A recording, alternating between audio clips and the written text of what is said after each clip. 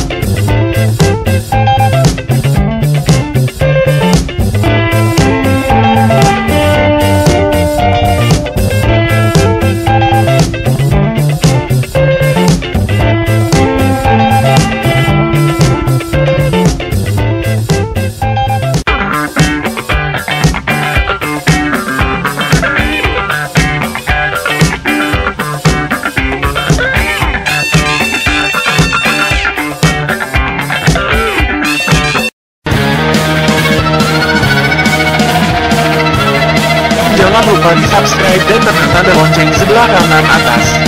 Oke, terima kasih.